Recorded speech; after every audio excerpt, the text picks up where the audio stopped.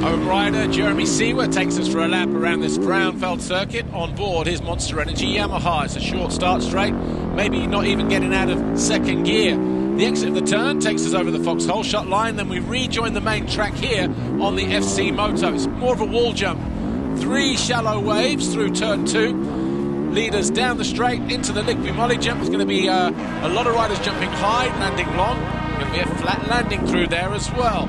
Jeremy Seewer just acknowledging the fans there to his right. And now to his left as he stops out on the racetrack just to soak in the atmosphere.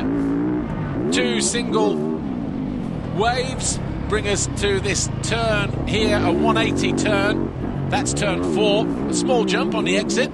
We hit the first of the Monster Energy jumps, and then we sweep through this off cambered right hand turn. As you can see, the ground very soft, it's moist, a lot of grip.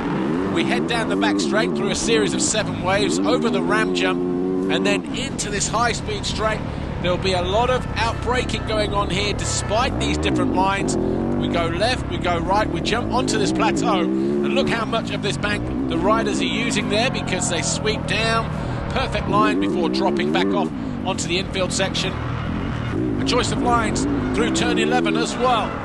You can go all the way out to the outside or go tight a couple of times. Either way, we're on the run up towards Monster Energy Mountain and down the other side into this right hand turn. Beneath the city banner, and you can see two offset singles there. Either way, you end up here, left, right.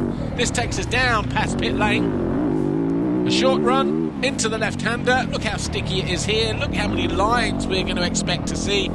Double apex left there, and then left here. Two more corners, right, left, and then we hit the Monster Energy finish line jump just here. And that's a lap of Frauenfeld.